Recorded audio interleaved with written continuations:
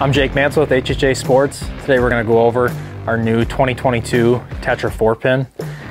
So you'll notice on the Tetra 4 pin, uh, we made some updated changes to the front end of the frame and the scope housing. So this year we came out with the infinite adjust plate, which will allow you to make your second axis and elevation adjustments completely independent from each other. This is a feature that you're gonna see on all of our Tetra line sights. You'll also notice that the Tetra 4-pin scope will fit on either a Tetra frame, which, is, which I currently have here. It'll also come on a Tetra Max frame or a Tetra LT frame. It'll be your choice of which frame you'd like to go with. If you decide to use a Tetra LT frame, you'll be able to sight in from 20 to 80 yards on our sight tapes. And then on the Tetra and Tetra Max, that'll go from 20 to 100 A couple of the features on the Tetra 4 pin that you'll see. You have your micro windage adjustments as well as your macro windage adjustments. Your macro windage adjustments will be made by taking a Allen wrench and loosening the bolt right on the front end of the scope housing and then making your left to right adjustments there. You can check out the link in our description to see how to sight in your four pin Tetra bow sight. One benefit to shooting our multiple pin sights, you'll actually be able to customize the pins if you choose by giving us a call at our office and we can customize any sight.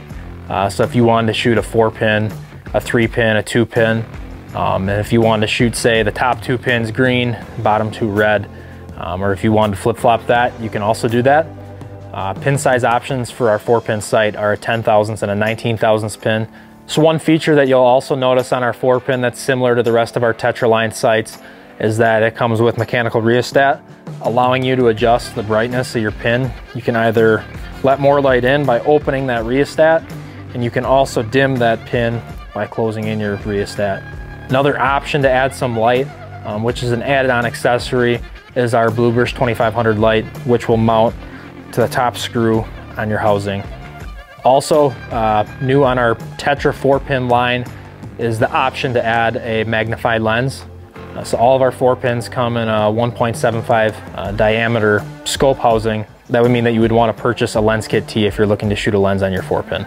So as mentioned before, you can get a four pin in a variety of different frames. You can get it in a standard Tetra frame, our Hunter Edition frame. You can also get it in our Tetra Tournament Edition sight. Uh, the same goes for the Tetra Max. You can get it with the Tetra Max Hunter Edition frame or the Tetra Max Tournament Edition sight. And then your other option uh, is the Tetra LT, our premier slider sight within the Tetra line. All four pin sights, as well as all HHA products, carry 100% lifetime warranty and are made in the USA. For any more information, you can visit our website at www.hhasports.com.